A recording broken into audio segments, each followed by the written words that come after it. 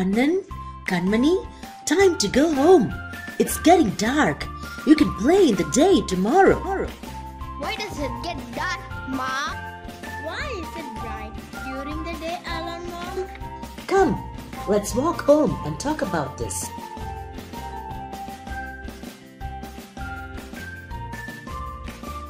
We get light and heat from the sun during the day. Nobody can survive without this.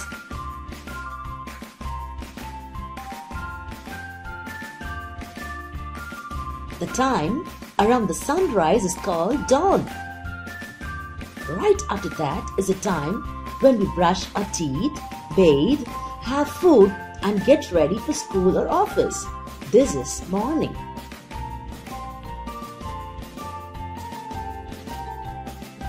The time we have our lunch is midday.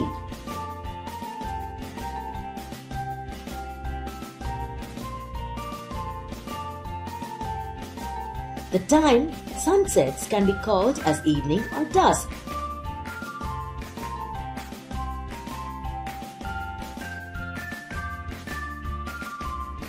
There will not be any natural light after the sunset. This is the time when we can see the moon and the stars in the sky. We call this time as a night.